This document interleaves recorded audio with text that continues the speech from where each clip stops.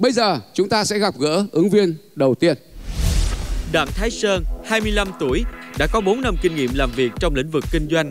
Cử nhân ngoại thương Đại học Kinh tế Thành phố Hồ Chí Minh, cử nhân ngôn ngữ Anh, Đại học Khoa học Xã hội và Nhân văn Thành phố Hồ Chí Minh năm 2017 đạt 150% doanh số được giao, năm 2018 đạt 130% doanh số được giao. Mục tiêu trở thành quản lý đối tác, quản lý quan hệ khách hàng, quan hệ quốc tế. Phương châm sống của tôi đó là stay hungry, stay foolish, có nghĩa là bạn hãy cứ đam mê đối khác dài khờ. Và tôi nghĩ là mình trẻ mình phải có một khát khao khát vọng thì mình mới ờ, đạt được những cái thành tích mà những người khác không thể đạt được. À, đến với chương trình cơ hội cho ai thì tôi muốn muốn một sự bứt phá cho bản thân mình có nghĩa là vượt qua cái vùng an toàn vùng giới hạn của mình. Đặng Thái Sơn với tính cách điềm đạm luôn muốn chứng minh năng lực bằng khả năng của mình. Cùng xem anh ấy sẽ thể hiện bản lĩnh như thế nào tại cơ hội cho ai ngay sau đây.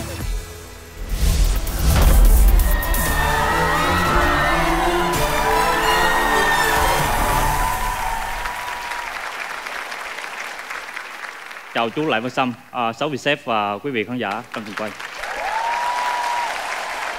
Xin tự giới thiệu, tôi tên là Đặng Thái Sơn, năm nay tôi 25 tuổi, tốt nghiệp trường Đại học Kinh tế Thành phố Hồ Chí Minh với chuyên ngành ngoại thương xuất nhập khẩu. Và sau khi tốt nghiệp ra trường thì tôi đã trở thành nhân viên kinh doanh dự án của công ty hệ thống thông tin, chuyên cung cấp các giải pháp về công nghệ thông tin cho các doanh nghiệp. Sau hơn 4 năm làm việc thì tôi có uh, một số thành tích cơ bản như là năm 2017 tôi đã đạt được doanh số là 12 tỷ và hoàn thành 150% kế hoạch được giao và 50% đơn hàng đó là ký mới trở thành một trong 25 nhân viên xuất sắc nhất của công ty 300 nhân viên. Và năm 2018 tôi đạt được doanh số đó là ờ, uh, 16 tỷ và hoàn thành 130% kế hoạch được giao. 70% đơn hàng là khách hàng ký mới và trở thành 136 nhân viên xuất sắc nhất của tổng công ty với 3.000 nhân viên. Uh, trong thời gian rảnh thì tôi luôn uh, muốn trau dồi bản thân mình bằng uh, học ngoại ngữ và đọc sách và hy vọng với một người trẻ nhiệt huyết và năng động như tôi hy vọng các sếp và các bạn sẽ bình chọn cho tôi để có cơ hội tiếp theo cảm ơn bạn. Còn bây giờ chúng ta sẽ gặp gỡ với ứng viên thứ hai. Xin mời. Nguyễn Thị Cúc, 22 tuổi, đã có 2 năm kinh nghiệm làm việc, cử nhân kinh tế Đại học Kinh tế Luật, có kỹ năng giao tiếp tốt, quản lý, sắp xếp, thích ứng với công việc, từng đảm trách các vị trí như trợ lý giám đốc, quản lý dự án, quan hệ khách hàng, marketing và thư ký hành chính, Mục tiêu trong tương lai là trở thành lãnh đạo cấp cao và xa hơn là một CEO. Thành tích cá nhân, giải ba tiếng hát sinh viên toàn quốc, nét đẹp sinh viên tài năng Đại học Quốc gia Thành phố Hồ Chí Minh. Trong công việc thì tôi đánh giá mình là một người khả năng thích ứng nhanh. Tôi đã rèn luyện bản thân cũng như là học hỏi ờ, từ tất cả những người xung quanh và từ môi trường sống để có thể trau dồi hơn nữa cái khả năng thích ứng nhanh của mình.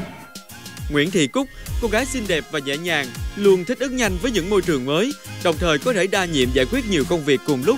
Ngay lúc này cô ấy đã sẵn sàng để thể hiện bản thân mình tại cơ hội cho ai.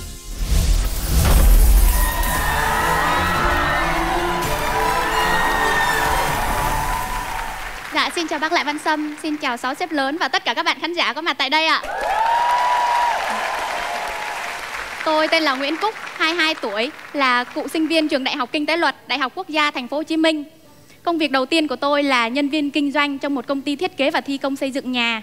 Trong quá trình ờ, làm nhân viên kinh doanh thì tôi luôn hoàn thành được doanh số được giao và vượt hơn gấp 2 đến 3 lần. Trong một thời gian ngắn thì tôi đã được cân nhắc lên làm vị trí nhân viên tổng hợp tương đương với vị trí trợ lý giám đốc. Và vì là một công ty nhỏ nên tôi ờ, đảm nhiệm linh động nhiều vai trò khác nhau như quản lý dự án, thư ký hành chính, ờ, marketing, quan hệ khách hàng và cả nhân sự nữa. Nhưng mà công việc chính của tôi là quản lý dự án. Và cụ thể là sau khi khách hàng đã ký kết được hợp đồng thì tôi sẽ tiến hành lên kế hoạch chi tiết về tiến độ và chi phí cho toàn dự án. Tiếp theo thì tôi sẽ hợp lệ hóa những cái giấy tờ thủ tục với các ban ngành có liên quan.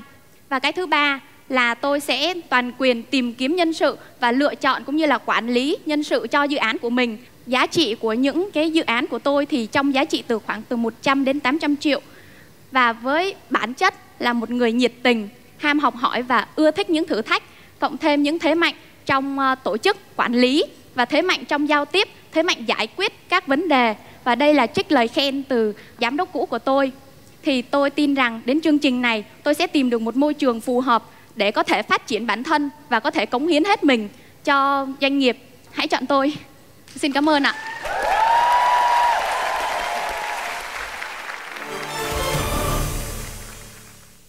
Chúng ta vừa mới uh, chứng kiến cái phần đối đầu giữa hai ứng viên Đặng Thái Sơn trùng tên một uh, nhạc sĩ piano rất nổi tiếng của Việt Nam nhưng lại chuyên làm kinh tế và Nguyễn Thị Cúc cháu ra ấy, chú giật mình bởi vì trông uh, nghiêng cháu hơi giống ca sĩ Thanh Thảo mà lại lại thấy cháu nói là cháu được giải ba của sinh viên toàn quốc đúng không? Giọng hát sinh viên đúng không? Bạn có thể hát luôn ở đây đâu ờ, đấy thì tôi đang muốn là các sếp cũng rất bởi là là muốn thực ra nghe một cái câu. rất là quan trọng vì nếu mà bây giờ bạn không có thể hiện ấy mà chẳng may tí nữa bạn không được chọn đấy là bạn không có cơ hội thể hiện nữa thôi mình ờ, không nói những chuyện chẳng may đi anh. thôi mình không nói những chuyện chẳng may đi À, anh vâng. mình cứ nói những chuyện may mắn và tốt đẹp đi mà nói cháu chung là cái gì mà có cơ hội thì cứ thể hiện luôn ngay lập tức Đúng rồi. đừng để dành Dạ, thực ra thì em tham gia chương trình Liên hoan Tết sinh viên toàn quốc không phải là trong vai trò là đội hát mà em là tham gia là đội múa. ạ.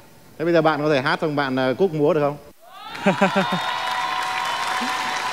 À, dạ, à, em sẽ hát à, một đoạn thôi. Dạ. Nhưng mà không biết là bạn à, Cúc có thể là nhảy theo cái cái, cái Dạ bài được hát ạ. này không? Anh cứ thoải mái đi, em sẽ bỏ guốc ra ngay. Ôi, không phải bỏ quốc hả cháu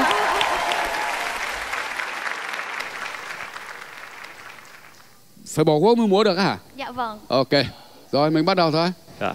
Chiều nắng đường vắng em với chúng tôi bên người ngồi xuân chuyện vui ôi bao nhiêu điều muốn nói nhưng đâu đó nụ cười vẫn chưa buồn phiền nước mắt sâu nỗi buồn xa xôi. À, tự nhiên hôm nay tự nhiên hôm nay chương trình cơ hội cho ai lại như là sàn chiến giọng hát này sàn chiến giọng uh, cái điệu nhảy ấy nhỉ? Uh, nhưng mà không sao bởi vì là cơ hội dành cho tất cả mọi người và cơ hội chúng ta có thể kiếm được việc và đây là cơ hội để ờ, đặng thái sơn có thể là hát một đoạn phô diễn giọng của mình đây là cơ hội để cô bé nguyễn thị cúc có thể là biểu diễn ờ, một vài cái vũ điệu đơn giản ra là sự xuất hiện của hai cái người trẻ rất rất là trẻ này mà làm ờ, Khó chọn, đúng không? khó quá khó thực sự rất là khó lựa chọn Bạn ờ, bạn Sơn là tiếng Anh là là tốt, thấy ờ, đang quyết tâm học tiếng Anh nhiều á thì ờ, bạn Cúc ờ, khả năng ngoại ngữ tiếng Anh như thế nào? Dạ khả năng ngoại ngữ tiếng Anh của em thì hiện tại thì đã đã đủ để ra trường rồi ạ và em có thể giao tiếp được. Bây giờ thì chúng ta bắt đầu công việc chính là bình chọn cả khán giả và cả sáu sếp. Bình chọn bắt đầu. Xin mời.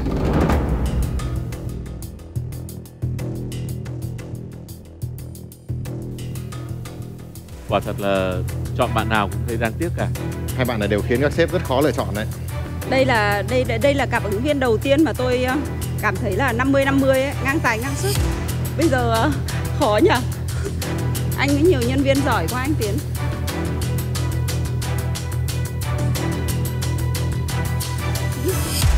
Bình chọn đã xong, kết quả đã có. Chúng ta sẽ xem. Xin mời. Đặng Thái Sơn 6 trên 7 và Nguyễn Thị Cúc 1 trên 7. Xin chúc mừng Đặng Thái Sơn. Chú sẽ không chia buồn với cháu, mà chú nói rằng cơ hội với cháu vẫn còn rất nhiều ở phía trước. Chúc cháu luôn luôn may mắn và hạnh phúc.